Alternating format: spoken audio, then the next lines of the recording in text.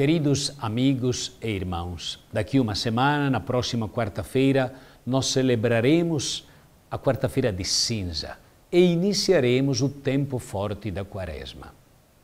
A mensagem do Papa Francisco para a quaresma deste ano tem como tema Fortalecei os vossos corações. Tempo de renovação para a Igreja, para as comunidades e para cada um dos fiéis, a Quaresma é, sobretudo, um tempo favorável de graça. Deus nada nos pede que antes não nolo tenha dado.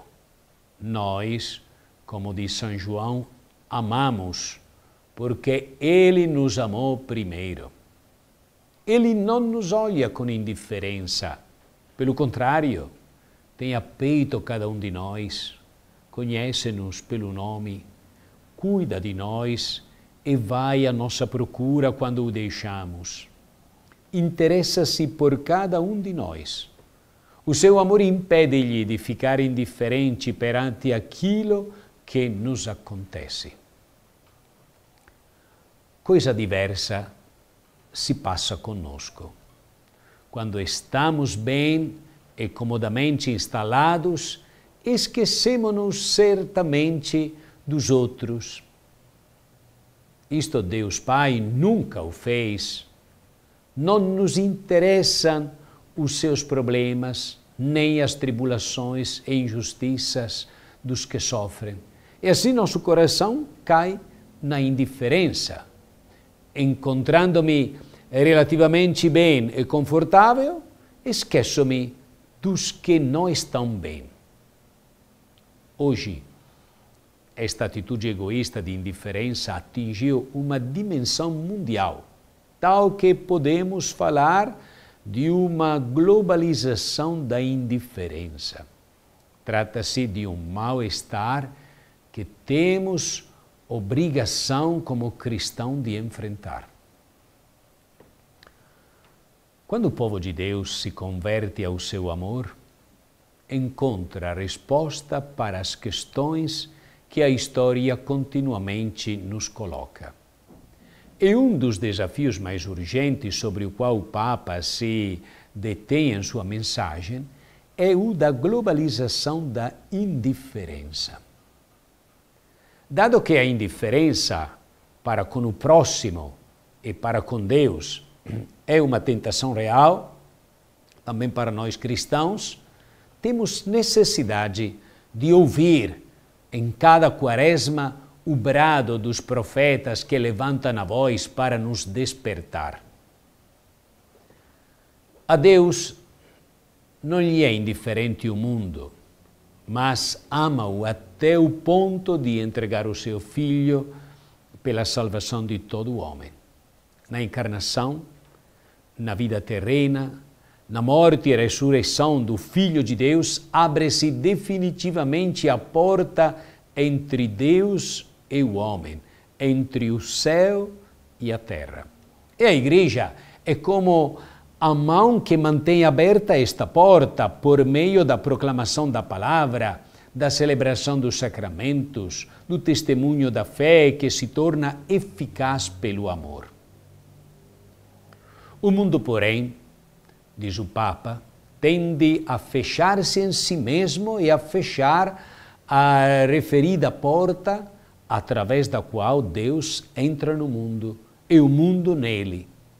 Sendo assim, a mão que é a Igreja não deve jamais surpreender-se se se vir rejeitada, esmagada e ferida. Por isso, o povo de Deus tem necessidade de renovação, para não cair na indiferença, nem se fechar em si mesmo. Tendo em vista esta renovação, o Papa nos propõe três textos para nossa meditação. O primeiro texto é tirado da primeira carta aos Coríntios, capítulo 12, versículo 26. Se um membro sofre, com ele sofrem todos os membros. É que o Papa quer se referir à Igreja como um todo. Com o seu ensinamento, e, sobretudo, com o seu testemunho, a Igreja oferece-nos o amor de Deus, que rompe esta reclusão mortal em nós mesmos, que é a indiferença.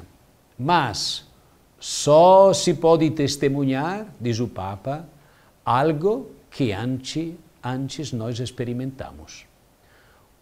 O cristão é aquele que permite a Deus revesti-lo da sua bondade e misericórdia, revesti-lo de Cristo para se tornar como ele, servo de Deus e dos homens. A liturgia da Quinta-feira Santa, com o rito do lava-pés, nos recorda isso muito bem.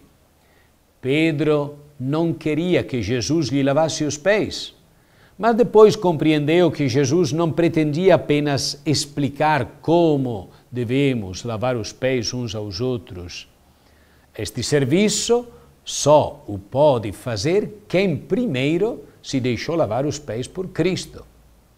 Só essa pessoa tem parte com Ele, podendo assim servir o homem. A Quaresma é um tempo propício para nos deixarmos servir por Cristo e, deste modo, tornarmos-nos como Ele é servos dos irmãos. Verifica-se isto quando ouvimos a palavra de Deus e recebemos os sacramentos, nomeadamente a Eucaristia. Nesta, tornamos-nos naquilo que recebemos, isto é, o corpo de Cristo. Neste corpo não encontra lugar a tal indiferença que com tanta frequência parece apoderar-se dos nossos corações. Porque quem é de Cristo pertence a um único corpo e nele um não olha com indiferença o outro. Assim, se um membro sofre, com ele sofrem todos os membros.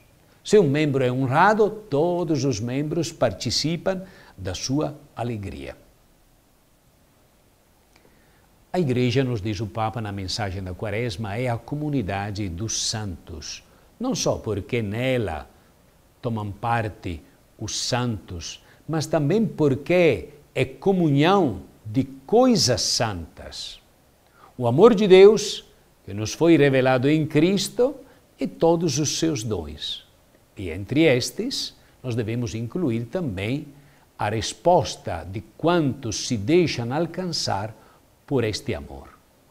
Nesta comunhão dos santos e nesta participação nas coisas santas, aquilo que cada um possui não o reserva só para si, mas tudo é para todos. E dado que estamos interligados em Deus, podemos fazer algo mesmo pelos que estão longe, por aqueles que não poderiam jamais, com as nossas simples forças, é alcançar. Rezamos com eles e por eles a Deus, para que todos nos abramos à sua obra de salvação. O segundo texto para a nossa reflexão, lembrado pelo Papa, é tirado do livro do Gênesis, capítulo 4, versículo 9. Onde está o teu irmão? E aqui o Papa fala das paróquias e das comunidades. Tudo o que se disse a propósito da Igreja Universal é necessário agora traduzi-lo na vida das paróquias e das comunidades. Nestas realidades eclesiais consegue-se, porventura, experimentar que fazemos parte de um corpo único, um corpo que simultaneamente recebe e partilha aquilo que Deus nos quer dar, um corpo que conhece e cuida dos seus membros mais frágeis, pobres e pequeninos? Ou refugiamos-nos num amor universal? pronto a comprometer-se lá longe no mundo, mas que esquece o Lázaro que está sentado à porta da casa? Que nós possamos nos preparar bem para a quaresma que está se aproximando. Que possamos abrir este coração para vivermos de fato a experiência do amor de Deus que nos é revelado e nos tornar sinal deste amor para os nossos irmãos, para aqueles que mais sofrem, que mais precisam. Que a quaresma seja um tempo de graça, uma experiência de verdadeira partilha e solidariedade com todos. Em nome do Pai, e do Filho e do Espírito Santo. Amém.